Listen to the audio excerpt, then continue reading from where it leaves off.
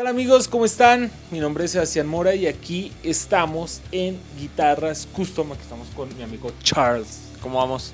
Aquí está Carlos, que es el que siempre, básicamente casi siempre octava mis guitarras.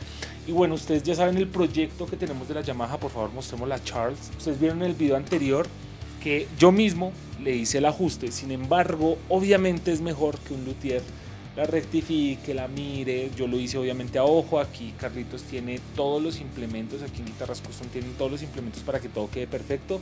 Entonces, bueno, Charles, ¿cómo la ves? No, pues la instalación quedó bien, eso sí, pero vamos a hacer, pero vamos a hacer todo el tema ya de calibración, vamos a revisar la octavación, ajustar el throttle, vamos a hacerle todo el setup, pues para que quede bien ajustada con el puente que compró Listo, entonces, pues bueno amigos, esta es la parte 2 de esta guitarra. Muchos de ustedes me han preguntado eh, sobre cómo conseguimos este puente, así que más adelante les voy a contar. Así que aquí vamos.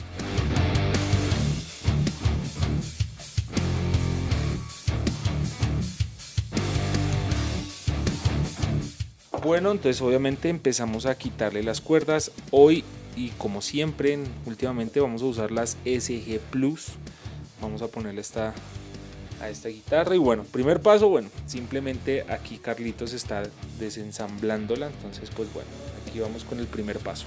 Bien, entonces ahora aquí vamos con la parte de limpieza, vamos a hidratar el mástil. ¿Qué vamos a hacer aquí, Carlitos? Listo, en este momento estamos haciendo ya la limpieza para quitar todo el sudor, remover todo el mugre y después vamos a aplicarle el Eponol que es una es este líquido que nos hidrata la madera, el fingerboard.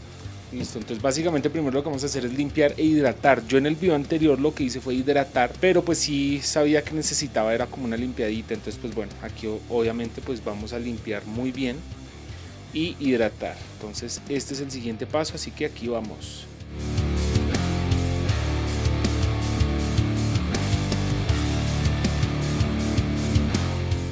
Listo, vamos ahora con el siguiente paso, entonces vamos a limpiar, ¿cierto? Sí, entonces el Efonol es un líquido que está diseñado para todos los terminados que son gloss, como este. Entonces pues vamos a aplicarlo y vamos a removerle todo el polvo, sudor y todo lo demás. Listo, entonces bueno, vamos a hacer eso. Entonces bueno, a limpiar la guitarrita porque si el tema de este tipo de pintura, no les voy a negar, se ensucia bastante y más si es negra, o sea, se nota, o sea, básicamente se nota, si uno le pone simplemente la huella, perdió, o sea, ya está sucia. Entonces, pues bueno, es algo que... en cuenta el pañito que vamos a, usar. Este es un pañito de microfibra, entonces esto lo que hace es que no permite que se raye la pintura. Los terminados negros son un poquito más difíciles de cuidar, entonces un paño, un buen paño es lo que va a ayudar a que todo quede ok. Bueno, ese pañito lo venden aquí, yo creo que me voy a llevar uno de esos porque la toallita se ve tremenda. Entonces, pues bueno, importante eso que nos dice Carlitos, yo la verdad no sabía, entonces pues bueno, voy a tenerlo en cuenta para no rayar las guitarras. Esta es la única guitarra negra negra que tengo, pero mi sur es tipo Sunburst, también tiene negro, entonces pues bueno, a cuidarla entonces. Básicamente limpieza.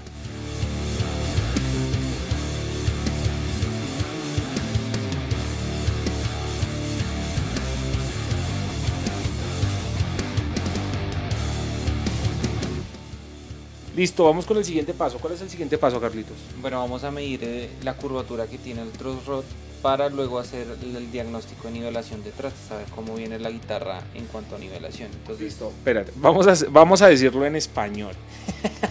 en español básicamente lo que va a hacer es medir el brazo, ¿cierto? Si está torcido, si está recto. Listo, sí, eh, en, este caso tiene mucha curvatura, entonces lo que va a hacer es que la va a dejar en ceros para medir los, el nivel de los trastes y luego dejo un ajuste para que solo monte cuerdas y ya quede muy cercano a lo listo. Súper. Eh, yo como ustedes se dieron cuenta yo solo le cambié eh, el puente no yo la verdad no le digamos esta parte es la parte del alma cierto yo esa parte pues no se la moví no, no le he hecho nada. La guitarra desde que la tengo nunca le he movido el alma. Entonces aquí Carlitos lo que está haciendo es eh, colocando el brazo lo más derecho posible para que todo esté bien. Todo este tema de ajuste eh, sirve bastante para comodidad, para estabilidad en la afinación, o sea, todo, todo tiene que ver, todo ayuda para todo. Entonces, por eso realmente también la traje, para que esté, llamémoslo así, la guitarra en su 100, súper calibrada, eh, bien octavadita, bien medida, todo. Entonces, bueno, Recuerden que aquí en Guitarras Custom hacen todo este trabajo con sus guitarras. Y bueno, vamos con el siguiente paso que es el tema de nivelación de trastes. Entonces, bueno, Carlitos, cuéntame cómo está ahí. Bueno, entonces lo que hacemos acá es que tenemos un aparato especializado para, digamos que a través del tacto sentir si está desnivelado. Quiere decir que uno esté más alto que otro en relación. O sea, tres trastes en relación tienen que estar iguales. Cuando están desnivelados, aquí viene un tricitir, un poquito, no se siente tanto, pero aquí hay un desnivel lo que hacemos es que con otro aparato que tiene la curvatura exacta del traste miren acá vamos a ubicarnos ahí y muy suavemente vamos a golpear para que el traste se siente y reduzcamos ese desnivel Listo, pues bueno, básicamente estamos haciendo también corrección de nivelación de trastes. Como les decía, todo esto es importante. No es solamente, ah, voy a cambiar cuerdas y ya voy a hidratar esta parte, voy a... No, o sea, realmente les recomiendo un muy buen ajuste. Estos ajustes, Carlitos, más o menos, ¿cada cuánto es recomendable hacer? O digamos, ¿los trastes se desajustan siempre o cómo es el tema? No, digamos que esto la mayoría de veces es de fábrica. Entre mayor sea el costo de la guitarra, digamos que el ensamble de los trastes es muchísimo mejor. Entonces, esto pues hay que ir recurrentemente al técnico y él nos va indicando dependiendo de qué tanto desnivel tenga, si yo he dejado mucho mugre y he dejado que el mugre se meta debajo del traste, eso hace que se suelten más. Entonces eso depende 100% de cada guitarra. Súper, entonces bueno, básicamente esta nivelación de trastes eh, pues es algo que le hacemos ahorita y lo más probable es que más adelante no, no haya que hacerle absolutamente nada, ¿cierto? O sea, ya quedó bien, digámoslo así, y obviamente que toca hacer, cuidarla, que no se entre el mugre, estarla haciéndole estos mantenimientos. Mantenimientos como octavar, calibración, ajustes. Bueno, este eh, más o menos cada cuánto sería ideal hacerlo. No solo cambio de cuerdas, sino digamos octavada, todo. Entonces, bueno, yo recomiendo más o menos dos o tres cambios de cuerda, pero eso también depende de si viajas, eh, la humedad, el lugar donde esté, la temperatura, porque eso hace que el trot rot eh, se mueva. Y al moverse pues obviamente siempre hay que ajustar. Si voy de viaje tengo que ajustar. Entonces por ahí dos tres cambios de cuerda aproximadamente si la guitarra está en la misma temperatura todo el tiempo. Estamos aquí en Bogotá. Ok listo. Aunque esos cambios de cuerda o sea más o menos tú dices que hacerle estos ajustes cada cuatro meses más o menos. Puede ser sí. Más o menos ese sería el rango dependiendo también de qué cuerdas usen si usan unas cuerdas que se van a, los, a la semana ya están oxidadas, pues ahí sin nada que hacer. Ah, bueno, y también del tacto, o sea, hay muchas personas que sudan mucho y hacen obviamente que las cuerdas se acaben muchísimo más rápido. Entonces también depende de eso, pero sí, calculando más o menos unos cuatro meses podríamos estar haciendo un ajuste completo. Listo, bien. Sí, todo este tema es, obviamente depende de las cuerdas. Eh, pues digamos, ¿qué es lo que yo he hecho? Yo cuerdas cambio más o menos cada dos meses, más o menos. Eh, cambio de cuerdas, obviamente depende del uso que le quiera la guitarra, depende de todo lo que yo tenga que grabar, bueno, cositas así. Sin embargo, estos ajustes como tal, más o menos yo vengo dos, tres veces al año para estos ajustes, ¿sí? Eh, bueno, entonces ahí lo ideal es que ustedes también puedan checar eh, para que sus guitarras siempre estén afinadas, siempre estén cómodas, todo, pues es bueno hacerles mantenimientos. Muchos de ustedes me preguntan que, ah, mi guitarra está muy alta o se desafina mucho. Bueno, muchos de estos mantenimientos tienen que ver, así sea la guitarra la más cara a la más económica, son cosas que hay que toca hacer, ¿sí? Son cosas que toca hacer básicamente. Entonces, bueno, aquí les dejo esto es una información importante y obviamente aquí con guitarras custom pueden hacer todo esto. Listo, ya después de la calibrada de trastes que ya quedó, ahora sí, vamos con las cuerdas SG Strings. Vamos con las cuerdas, Carlitos, ¿cierto? Sí, ya es montar cuerdas. Ya con el preajuste que le hice del truss rod, ya cuando monte las cuerdas va a quedar muy cercano a la curvatura correcta. Bien, y aquí vino un colado, un man que se quiso colar. Dijo, ay, yo quiero aparecer en el video, ay, hágame aparecer. No, eso lo va a poner. Ah. Ay, ay, yo quiero aparecer en el video, ay, por favor, ay, por favor. Eso, la verdad, amigos, sí me rogó. Limpiando, básicamente limpiando el puentecito y listos. Ay, quiero aparecer en el video.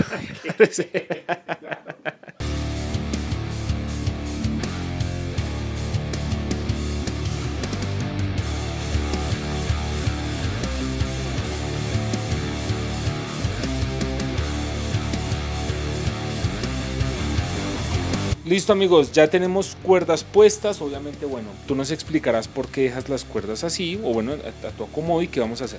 Listo, lo que vamos a hacer ahorita están recién instaladas, entonces obviamente no las he cortado, pero lo que voy a hacer ahora es y em- empezar a estirarlas. Digamos que ese es uno de los procesos que es más importante para que la afinación, digamos que sea lo más estable posible. Y estirarlas básicamente es hacer este movimiento con cada una de las cuerdas. Y después afinamos. Yo hago este proceso más o menos unas tres veces. Entonces bueno, este- seguimos estirando las cuerdas, hacemos este movimiento. Y pues la, la cuerda estaba afinada previamente y miren cómo ya se bajó.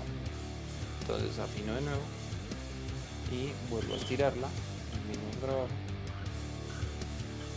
Y cada vez tiene que estar más cercana a la afinación. Entonces miren que ya ahora quedó. Espérenme que lo coja, quedó más arriba entonces se hace más o menos unas tres veces hasta que ya las cuerdas empiezan a sentarse y digamos que nos ayuda a la afinación.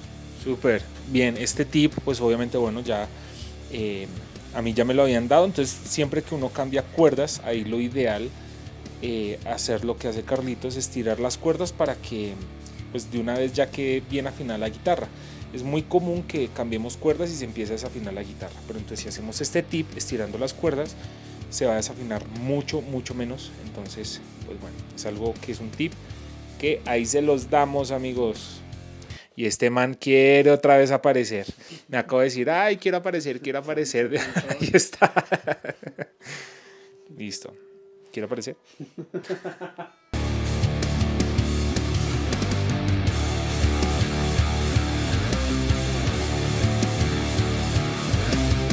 Bien, Carlitos, ¿qué punto nos falta y qué vamos a hacer? Listo, entonces acabo de volver de, de- estirar las cuerdas y acabo de volver a verificar que el throat rod esté en lo correcto. Y rod eh, se refiere al brazo. Español.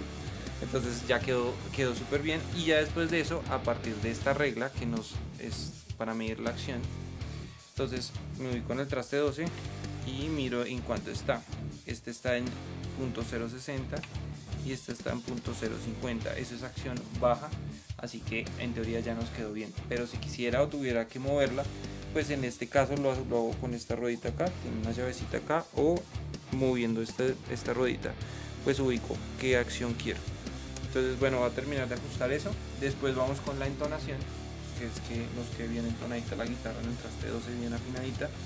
Y después cuadramos altura de pickups y en teoría ya terminamos. Listo. Entonces, bueno amigos, básicamente eso es todo.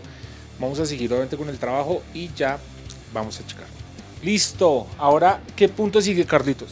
Entonces, bueno, como ya cuadré la acción, lo que vamos a hacer es que tocamos todos los trastes para así saber si hay algún trasteo que sea como excesivo y demás para terminar hacer, hacerle el último ajuste.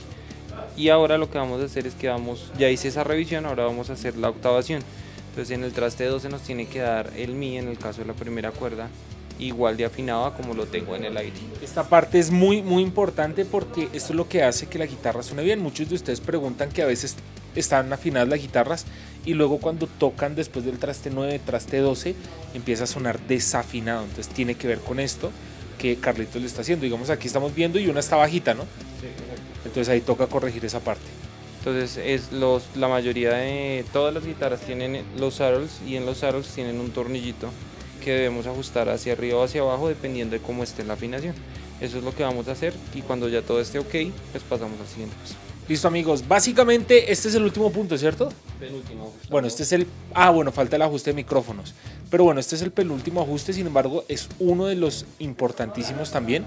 Entonces, bueno, recuerden, háganlo siempre con alguien que sepa.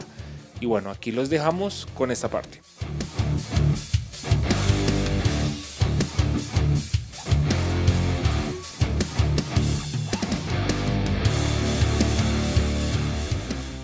Listo, ahora sí vamos con la altura de micrófono, ¿cierto?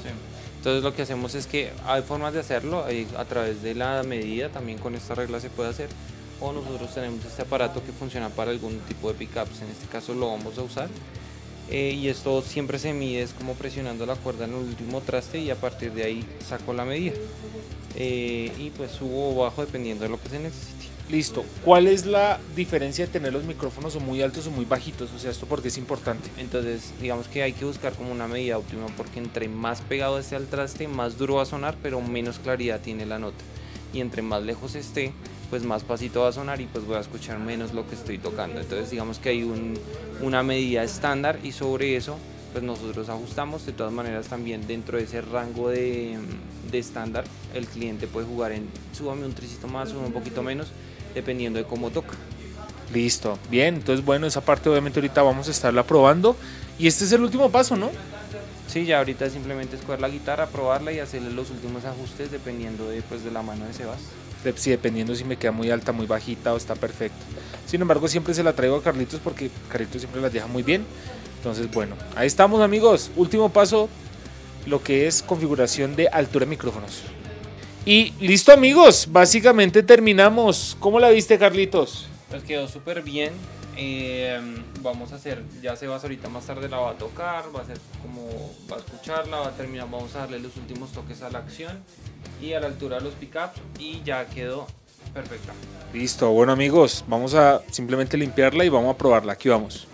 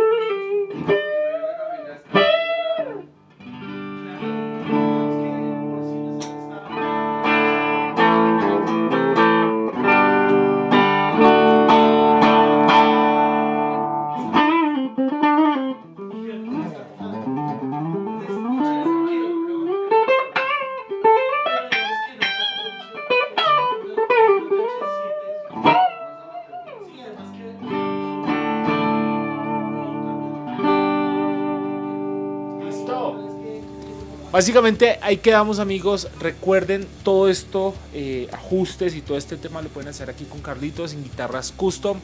No siendo más, recuerden que en todos estos trastes hay mucho que aprender. Sigan las redes de guitarras custom y nos vemos en el próximo video. Chao.